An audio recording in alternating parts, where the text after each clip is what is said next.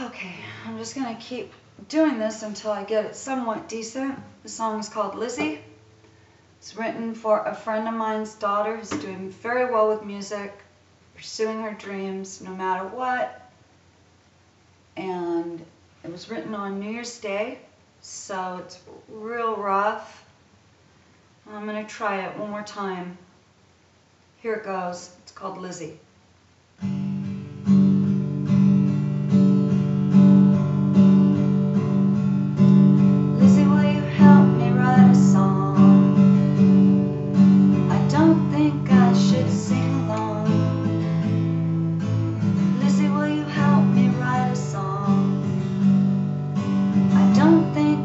should